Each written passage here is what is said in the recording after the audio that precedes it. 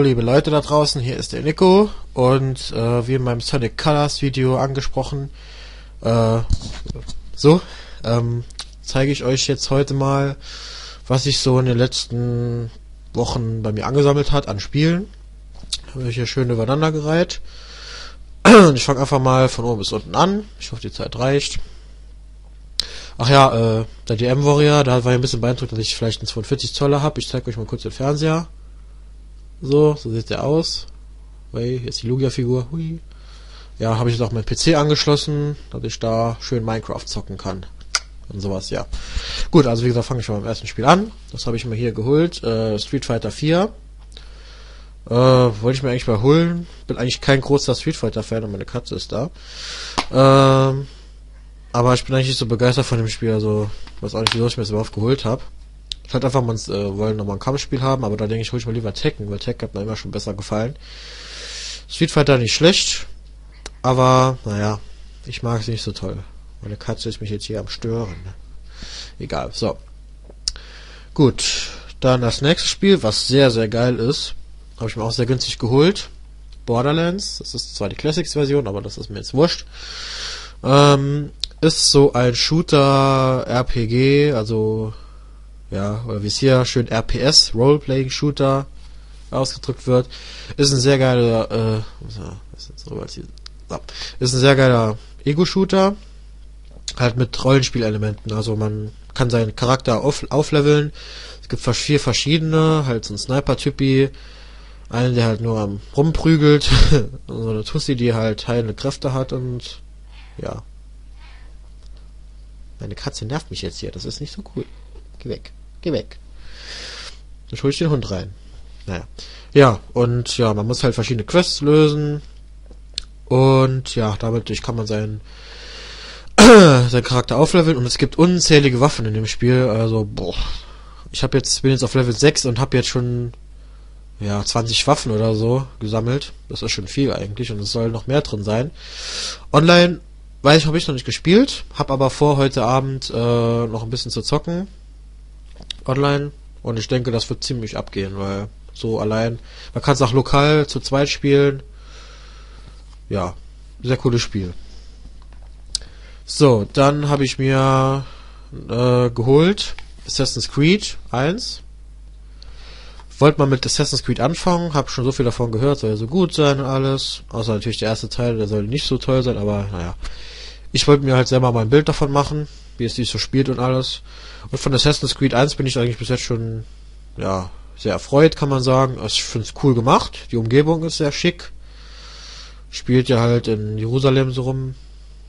Manchmal ist, ist das so, naja, manchmal so ein bisschen blöd mit der Steuerung, wenn man dann da rumrennt auf den Dächern und so alles.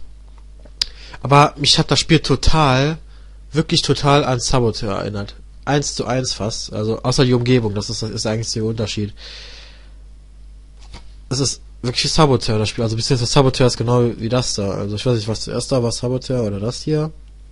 Ich glaube, das da war vor Saboteur hier äh, rausgekommen. Also das habe ich so viel wiedererkannt, das mit dem Verstecken vor den vor den Wachen, äh, halt auch, dass man halt so Attentate ausführen muss und ja, erinnert mich voll ans, an Saboteur. Mehr kann ich dazu nicht sagen. Dann habe ich mir natürlich auch noch äh, Assassin's Creed 2 geholt. Das habe ich aber noch nicht gespielt, weil ich erst den ersten Teil durchspielen wollte. Und ja, da muss ich halt auch noch gucken. Das soll besser sein als der erste Teil.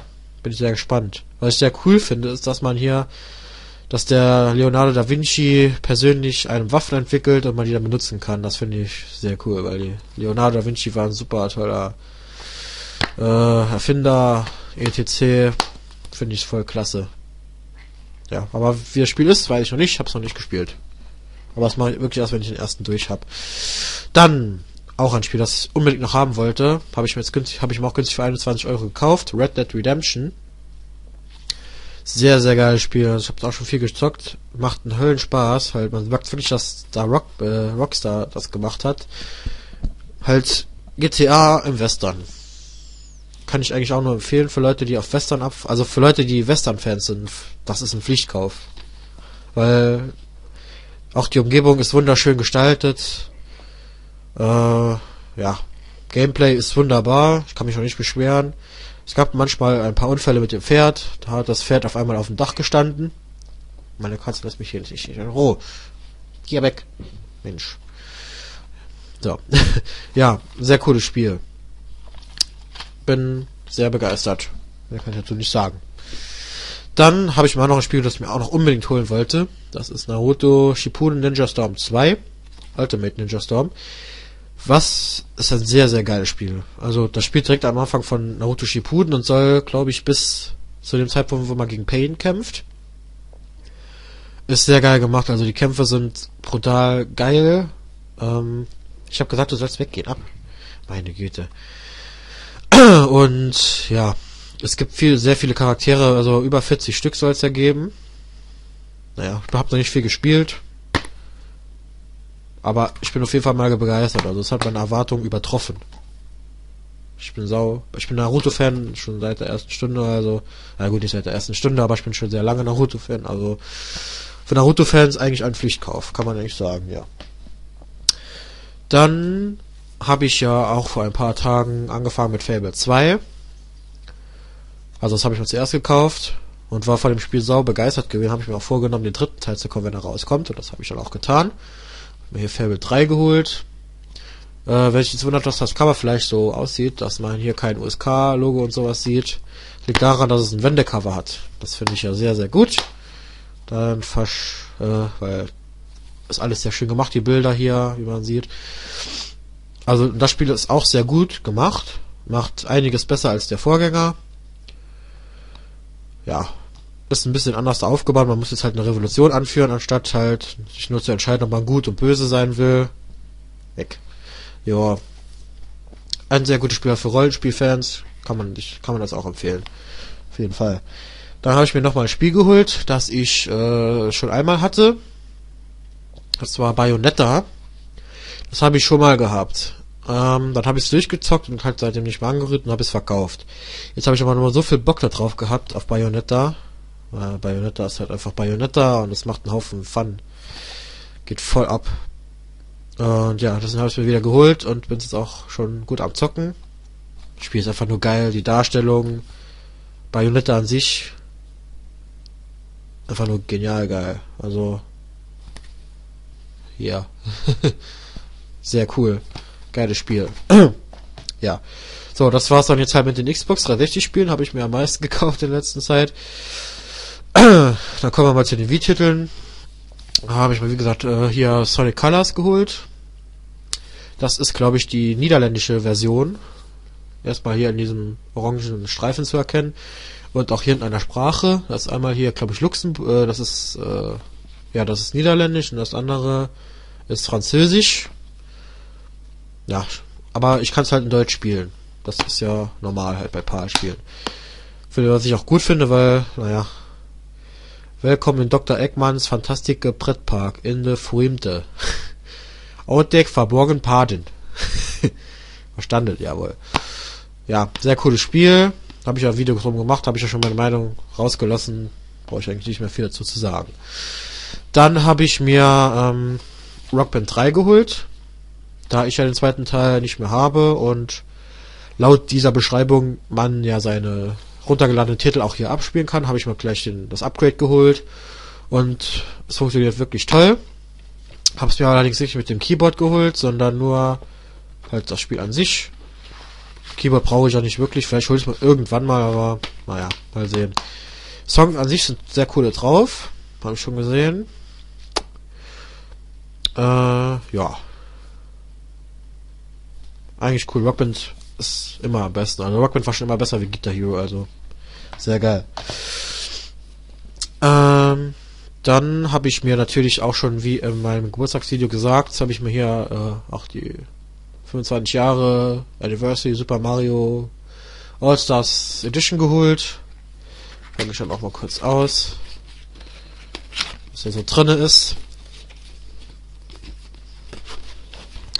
Ja, das ist eigentlich nur die Super Mario All-Stars ROM auf einer Disk, wie die meisten wahrscheinlich schon herausgestellt haben.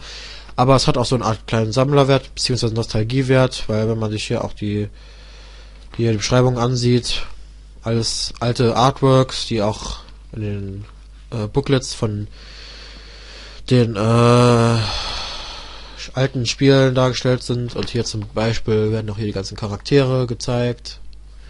Hier Ludwig von Cooper, Roy Cooper, Morton Cooper Jr., Lemmy Cooper, Iggy Cooper, Wendy O. Cooper. Haben alle eigenen Namen. Und was ich am allercoolsten finde, ist es hier die, hier doch diese beigelegte Disc mit Soundtracks. Und dann hier auf dieser goldenen CD. Und halt dieses Artwork, also dieses Begleitheft, Booklets, wie man auch immer sagen will. Ist sehr schick. Sieht man hier Konzeptzeichnungen. Hier Miyamoto und Entwickler geben noch einige Worte zu den Spielen ab von Mario. Sind halt hier die ganzen Soundtracks dieser Spiele mitgelistet. Und dieses Bild da vorne finde ich einfach nur awesome. Ein super alter Fernseher mit NES und Super Mario Bros. Einfach doch cool. Sehr nostalgisch, finde ich sehr schick. Äh, so viel haben wir noch. 11 Minuten, 7 habe ich jetzt aufgenommen. Da mach ich das kurz mal da rein. So. Äh, ich habe noch ein Spiel geholt, das habe ich jetzt aber nicht gerade liegen. Moment. Moment.